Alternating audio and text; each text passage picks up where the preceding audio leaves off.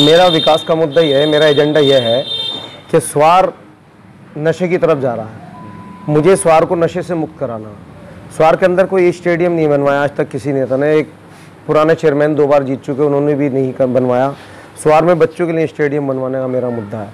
स्वास्थ्य पे काम करने का मुद्दा है मेरा। शिक्षा पे काम करने का मुद्दा है मेरा। आज तक जो मौजूदा चेयरमैन है, उन्होंने अस्पताल जाकर के नहीं देखा कि डॉक्टर है नहीं है। अगर किसी के ज़रिए से भी चोट लगती है, उसको रामपुर रेफर कर दिया जाता। महिला सर्जन अस्पताल में नहीं है। स्कूल के अंदर एक एक टीचर पंद्रह पंद्रह सौ बच्चों को पढ़ा रही हैं। लड़कियों के इंटर कॉलेज में कोई टीचर नहीं है, सिर्फ़ एक टीचर है। तो वहाँ हर क्लास की अलग अलग टीचर होनी चाहिए। स्वार के अंदर ठाकर द्वारा चले जाओ शिक्षा का बना। मैं स्वार के अंदर शिक्षा को आसमान पर ले जाना चाहता हूँ। यहाँ I S P C S M B B S की तैयारी होनी चाहिए कोचिंग सेंटर खुलवाना चाहता हूँ। और स्वार में नशे से मुक्त कराना चाहता हूँ, स्वार। मेरा पहला मुद्दा होगा स्वार को नशे से मुक्त कराना। जितने नशेड़ी बच्चे हैं, उनको नशा मुक्ति केंद्र में भर्ती कराना और जो नशा बेचते हैं, उनको जेल भिजवाना। चाहे मुझे कुछ भी करना पड़े, मुझे इस काम पे, इस ये काम करना। विकास तो रहा दूर, विकास तो बहुत दूर रहे स्वार से। आज़म खां की सरकार में हज़ारों करोड़ रुपये दिए गए, लेकिन उसका कोई विकास के लिए काम नहीं किया गया। सिर्फ़ अपनी कोठी बनाने का काम किया गया, अपने लिए बड़ी बड़ी गाड़ी बना, खरीदने का काम किया गया। जनता के हित का कोई काम नहीं हुआ। मैं जनता के बीच रहता हूँ जनता की समस्या सुनता हूँ।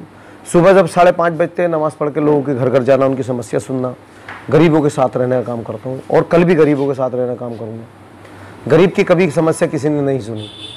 अच्छा विकास तो हुआ है बता रहे बता विकास हुआ है पिछले पाँच सालों में जो आज़म खान की सरकार थी जब उन्होंने पैसा दिया तो एक रोड बनी और उसी सरकार में दोबारा तोड़ के बना दी गई वो ये विकास हुआ है। और वो सारी सड़कें फिर टूटी पड़ी अच्छा लग, अभी क्या लगता है आपको कि नया कुछ होने वाला है यहाँ स्वार में? ऐसी क्या ज़रूरत है? चलो नशे नशे पे तो आप आवाज़ उठाएँगे ही। इसके अलावा क्या लगता है आपको? नया क्या होने वाला? नया क्या होगा? जब पिछले दस सालों में नया नहीं हुआ आप क्या नया होगा? हम जीतेंगे तो इंशाल्लाह नया करेंगे। सब कुछ नया करेंगे। स्टेडियम की मांग करेंगे स्टेडियम बनवाने की कोशिश करेंगे। हमारे यहाँ स्वार में कोई भी बच्चा हमारा युवा हमारा नाम पैदा कर सकता है। और स्वार के अंदर अस्पताल में महिला सर्जन लाने का काम करेंगे। बड़े बड़े डॉक्टर लाने का काम करेंगे, शिक्षा का हब बनाने का काम करेंगे। I S P C S की तैयारी हो, कोचिंग सेंटर खुले बड़े बड़े यहाँ बासपुर बच्चे पढ़ने के नहीं जाते हैं, बीसों बसें बासपुर जाती हैं। क्या बात, बासपुर में ऐसा क्या है जो हमारे यहाँ स्कूल नहीं खुल सकते, हमारे यहाँ बच्चे शिक्षा नहीं ले सकते? बच्चों के साथ दो दो घंटे सफ़र में कट जाते हैं, उनके, उनका शिक्षा क्या पढ़ पाएँगे वो जब दो घंटे सफ़र में काट देते हैं बच्चे बासपुर जाने और आने में। स्वार में करेंगे हम। क्या युवाओं के रोज़गार के लिए क्या योजना है? युवाओं के रोज़गार के लिए ये योजना जब तरक्की करेगा स्वार तो यो, योजनाएँ भी आएँगी। सरकार काम कर रही है। सरकार की जो सरकार की योजनाएँ हैं भारतीय जनता पार्टी की योजनाएँ हैं लेकिन लोग रूबरू नहीं है जानते नहीं क्या योजना है। हमारे युवा जानते नहीं नशे की तरफ़ दौड़ रहे हैं। क्योंकि उनको जागरूक करने वाला कोई नहीं है ना। हम जागरूक करेंगे। हम युवाओं के नहीं काम करेंगे रोज़गार के नहीं काम करेंगे। कितनी योजनाएँ चला रही है सरकार? लोन दे रही है, कारोबार के लिए लोन दे रही है, शिक्षा के लिए लोन दे रही है। लेकिन हमारी स्वार में कोई पता ही नहीं युवाओं को कि लोन भी मिल रहा है, हम शिक्षा कैसे करेंगे? सिर्फ़ एक ही रास्ता है कि उन्हें नशे की तरफ़ मोड़ा जा रहा है। अभी हमारे यहाँ महोदय की रैली हुई थी चौदह अगस्त की तो उन्होंने पाँच पाँच सौ रुपये नशेड़ियों को देकर अपनी रैली में बुलाने का काम किया था। उन्हें ये तो पता नहीं कि उन्होंने बच्चों ने पाँच सौ रुपये से कितना नशा किया। उसको मुक्त कराना है। अच्छा विपक्ष विपक्ष आप पे सवाल उठाता है कि आप वन मतलब लकड़ी माफिया है लकड़ी बेचकर जो है दो पैसे आ गए हैं इसलिए चेयरमैन ही लड़ रहा है। देखिए विपक्ष अपने गिरवान में झाके उन पे सात सात मुकदमे हैं चार सौ बीसी के। और मैं दिखा दूँगा ऑन रिकॉर्ड है मेरे पास। उनके भाई ने उन्होंने जो है जनता के पैसे की चार सौ बीसी के मुकदमे मेरे ऊपर कोई ऐसा मुकदमा नहीं है कि मैंने किसी जनता का दिल दुखाया हो। मेरे ऊपर अगर कोई मुकदमा है तो कोर्ट में विचाराधीन है। मुकदमे तो उन पे भी साथ चल रहे हैं।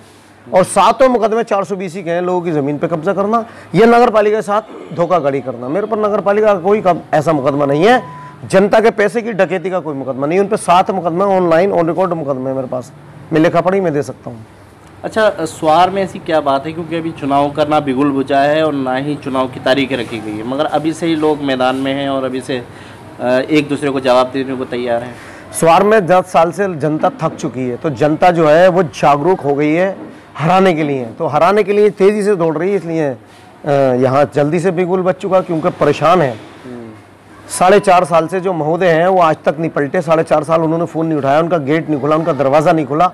तो जाग जनता ये चाह रही है कि कब दो महीने के बजाय कल चुनाव हो जाए तो इसको जवाब दे दें जो हमारे साथ गलत किया है। शाह आलम को कौन सी पार्टी का समर्थन है?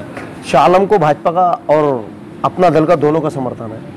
दोनों कोई गठबंधन सरकार है दोनों में मेरे मामले हैं और दोनों में ही मैं प्रयास कर रहा हूँ मुझे टिकट हो अगर गठबंधन से होगा तब टिकट मुझे होगा और अपना दल लड़ेगी तब टिकट मुझे होगा। अगर दोनों से नहीं हुआ तो फिर? नहीं दोनों से नहीं हो ना होने की क्या बात होएगा हंड्रेड परसेंट होगा। मैं पार्टी का चुनाव लड़ेंगे। मैं पार्टी का मेहनती कार्यकर्ता हूँ। हर चुनाव मैंने दिल से लड़ाया लोकसभा मैंने दिल से लड़ाई है विधानसभा मैंने दिल से लड़ाई है। तो मैंने पार्टी के नहीं काम किया तो पार्टी मुझे टिकट देगी। जो पार्टी के नहीं काम करेगा पार्टी उसको तो टिकट देगी। अच्छा लोगों को मैसेज क्या है आपका? चुनाव वोटिंग करने के लिए क्या मैसेज है आपका? वोटिंग करने के लिए ये मैसेज है मैं सबका छोटा भाई हूँ सबके परिवार का एक हिस्सा हूँ इसलिए मुझे जिताना चाहते हैं।